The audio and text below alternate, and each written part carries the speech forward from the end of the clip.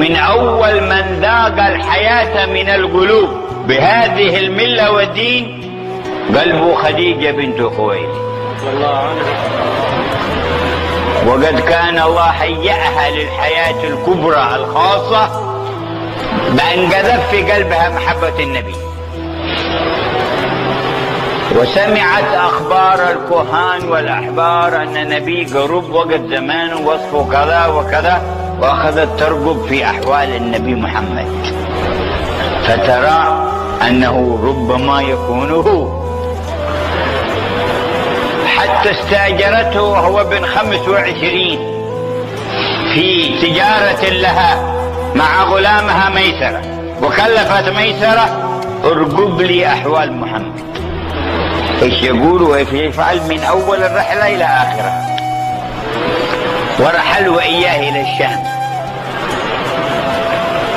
وباعوا وتضاعف الربح ورجعوا. وكان يشاهد العجائب. الغمامة تظلله صلى الله عليه وسلم. الغمامة تظلله صلى الله عليه وسلم. تمشي فوقه السحابة إذا مشى وتقف إذا وقف. وينزل تحت بعض الأشجار اليابسة فتخضر. ويراه نسطورا الراهب. فيقول لميسرة استوصي بهذا خيرا واحترس به فإن يهود يتربصون به وهو نبي. ودخل إلى السوق وتبايع مع بعض بعض علماء النصارى. وعرف أنه رسول الله. وأسر إلى ميسرة. يقول انتبه من هذا الرجل. فإن فيه علامات النبوة. وهو النبي آخر الزمن ورجع بالأخبار ميسرة إلى خديجة بنت خويلد. فازدادت رغبتها فيه. وتعلقها به. فأرسلت إليه تخطبه لنفسها. وكان يخطبها أعيان وأثرياء قريش. فترفض. وما لها رغبة في النكاح لكن لها رغبة في الصفات الرفيعة ولها رغبة في القرب من الله بواسطة المقربين عنده. فوقع في بالها ربما هذا هو النبي فخطبته وسعدت رضي الله عنها. وكانت قبل النبوة تكلمه وتقول له إني رغبت فيك لما سمعت كذا وكذا.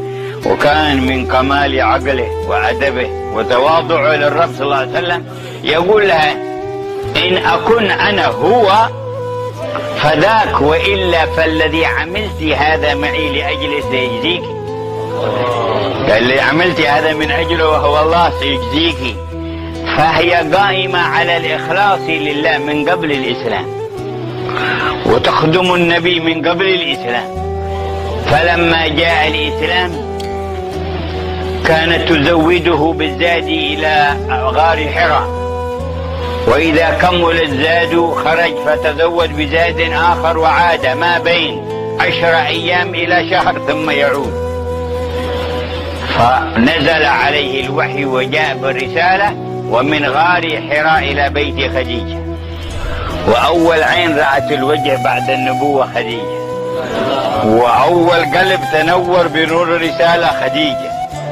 وأول من عرف خبر الوحي والإسلام خديجة وآمنت به خديجة رضي الله تعالى عنها. وأرضاه ولم تزل تزداد به إيمان وتخدمه فجاءت به إلى ورقة بن نوفل يقص عليه الخبر لتطمئن هي أكثر. فقال هذا الناموس الأكبر الذي أنزل على موسى. ولو أنني كنت حيا وكنت فيها جذعا حين يخرج قومك أنصرك نصرا مؤزرا. كلام مخرجيهم قال نعم ما أتى أحد بمثل ما أوتيت به إلا عودي. ثم لم تزل تزدد إيمانا. قالت صاحبك الملك جبريل إذا جاء أخبرني. مرة قال أقبل جبريل فكشفت رأسها. والملائكة لا تدخل منزلا فيه امرأة مكشوفة الرأس. فقال اختفى. فردت الغطاء قال جاء. كشفت رأسها قال ذهب. فردت الغطاء فجاء. قال البوسيري يحكي قصتها. وأماطت عنها الخمار لتدري أهو الوحي أم هو الإغماء. فاختفى عند كشفها الراس جبريل فما عاد, فما عاد أو أعيد الغطاء فاستبانت خديجة أنه الكنز الذي حاولته والكيمياء. صلى الله عليه وعلى آله وسلم. هذه خديجة وهذا خلقها. عليها رضوان الله. واعلمي كيف عرفت هذه المزية. وك و و وكانت تستر راسها دائما وكشفته لتختبر هذا ملك أم شيطان؟ فعرفت أنه الملك. فمن الذي يغري نساءنا بكشف رؤوسهم؟ ويقول هو لكن أحسن. ولنا سيرة أخذناها متسلسلة من مصدر التربية. ينازعنا عليها أعداء الله يمنى ويسرى يقولون خير لكم كذا خير لكم كذا. كيف نطيعهم وننسى دعوة الرسول محمد؟ صلى الله عليه وعلى آله وصحبه وسلم. حتى استمرت في خدمتها للنبي ومناصرتها له. جاء جبريل إلى المصطفى صلى الله عليه وسلم ليلة. فكان جالسا عنده فقال يا رسول الله هذه خديجة بنت خويلد تدخل عليك معها إناء فيه طعام. وإيش معنى معها إناء فيه طعام؟ أنها كانت مع أن لها الجواري الكثير والخدم الكثير تخدم بنفسها وتطبخ بنفسها وتقدم للنبي بنفسها رضي الله عنها.